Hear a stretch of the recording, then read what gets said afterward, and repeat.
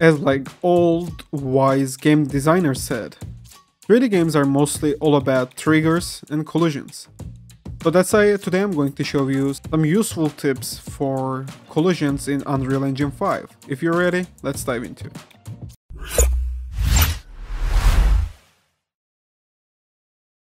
Okay, so first I got a scene like that that I'm putting my some preview meshes to check are they are working good or not.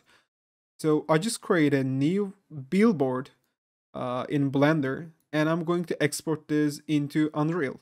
But I also want to handle how collision of this model work.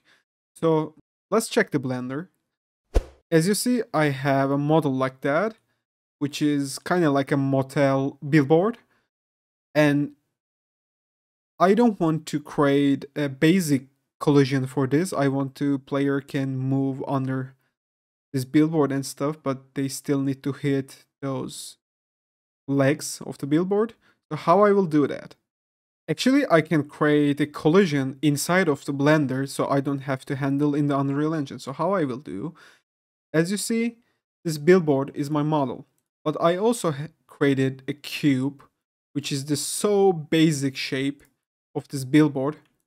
And I'm going to use this as a collision of my model. So how I'm going to do that? Just click your object and type UCX that and the name of your model, which mine is billboard.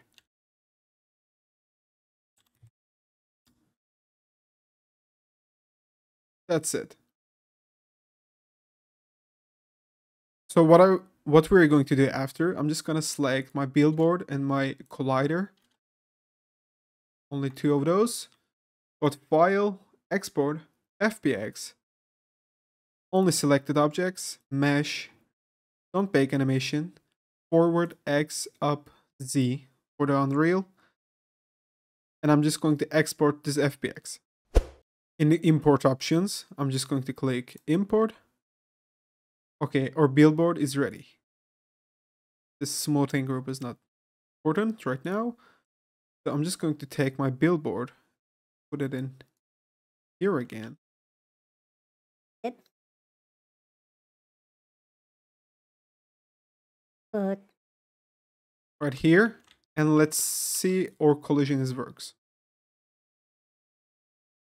I'm Going to start to play.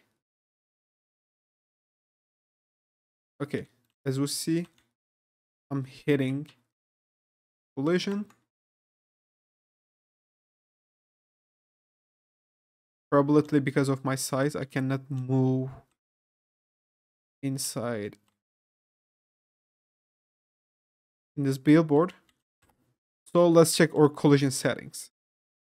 Go to your mesh.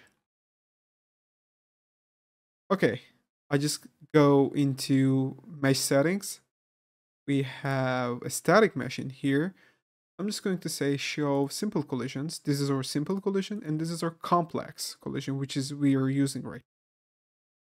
So what I'm going to say, okay, so we need to decide we're going to use simple collision or complex collision. Collisions are so expensive to use in games, especially if you have dozens of different meshes in your scene. So if you using a object like you're not interacted with as a player, you don't have to use so complex collisions because it's taking from the performance. But if it is directly about a player or player can interact or player can move around or move inside, collisions are so important. As you see, we are using customized collisions in here, but we can change what kind of collision we will use. We have two different collision. One of them is simple, which is not so good. Other one is complex one.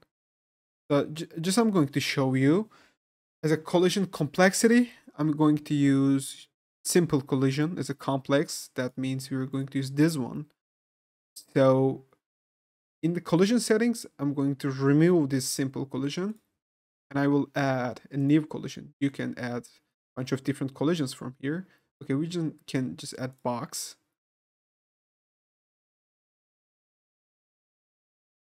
I will save it. So we have a collision like that right now. So let's see how it is working. Let's play again. This time I will try to move close to here. As you see, I cannot. Because our collision doesn't allow that. Because we're using not so good collision right now. So let's change it. Go to collision again. Click collision. Type click remove collision. Okay, so we don't have any simple collision right now. So what I'm going to do, I'm just going to add 18 DOP simplified, which is a like 18 total sites kind of collision, or you can add 26. Let's add 26. And in the convex decomposition settings, I'm just going to increase hull count to 32, max hull verts 32, hull precision 500,000, just apply. Okay, even it's simplified, as you can see, we have more complex collision because we increase the hull count and max hull verts and hull precision. So let's try it again.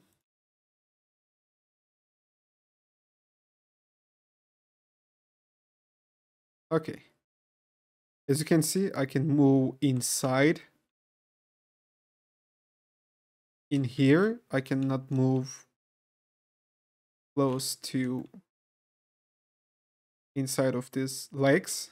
Move here and I can move close to these legs. I'm using a more complex, simplified collision right now. What we can do else, I'm just going to not show simple. I will check complex. Okay, this is our complex collision. And I'm just going to say use complex as a simple. So this is the basically the collision that we created in the blender and I choose complex collision mesh as a this billboard. We can just save it and let's try it again.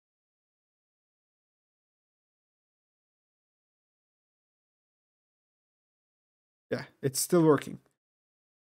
But it might be uh, taking less or more performance than simplified because I don't suggest to use complex collisions for every kind of mesh and object, as I said before, because it's uh, not so cheap to use. But it's working perfectly fine right now. So I can show you some other settings that how you can add collision inside of the Unreal Engine without doing in Blender. Maybe you just downloaded a mesh from the web and you don't have any collision of these objects, so you still can create a new collision inside of the Unreal Engine. I'm just going to remove this collision, which is simplified. Simple one. Okay. Right now, we're just seeing simple one, which is looking pretty fine collision for me, but it's a bit much.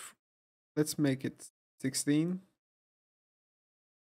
You decrease this to 3000.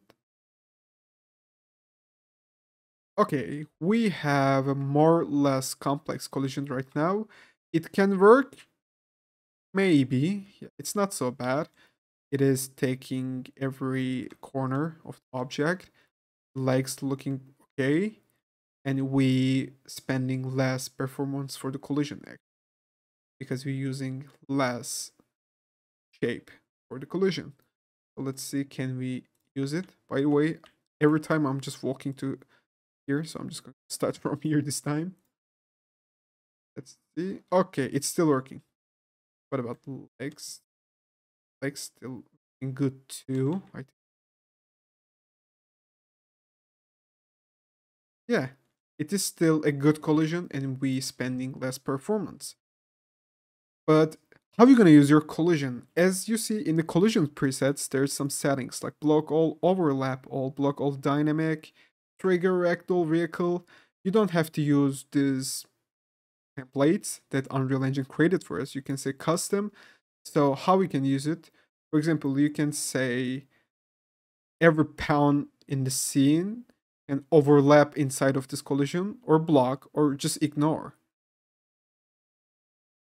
difference between ignore and overlap, you cannot create trigger events in the ignore section, but if you can make overlap, you can uh, create overlap functions.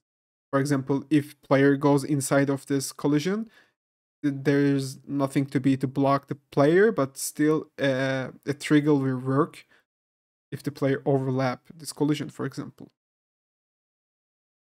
What kind of other settings we have for the collisions?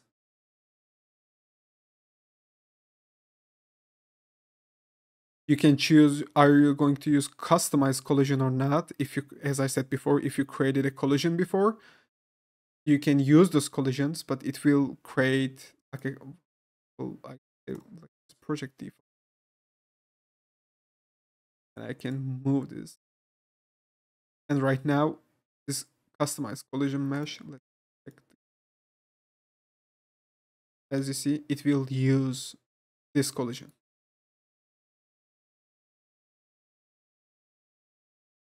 Also, if it doesn't have any collision when you're importing, you can create generate missing collision. If there's no collision on the object, the Unreal Engine automatically will create a collision for your objects. Also, if you're working something like plane or kind of like a you need to use double-sided, you can check this double-sided geometry. For example, you will use a plane that the one side of the plane doing something, the other side of the plane doing something, maybe something like a gate or something like that. You can check this double-sided geometry so you can work on each side of the collision to do something. There's also other collision settings that I'm just going to show you the simple one. For example, you can remove your collision from here. You can add a box can add a capsule. Can add a sphere. Or there's much more simplified but more uh, complex collisions than three of those. For example, this is 10 total sides, and each one of them like X, Y, and Z is done, or 18 DOP, the 18 side. The side? 26. 18 one, for, for example, connected, but we can change from the convex composition, changing the settings, and it's changing the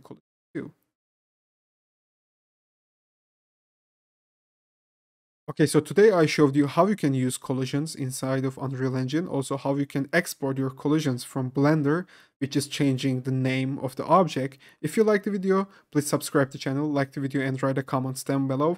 Until the next video, see you all, I hope you all doing great works.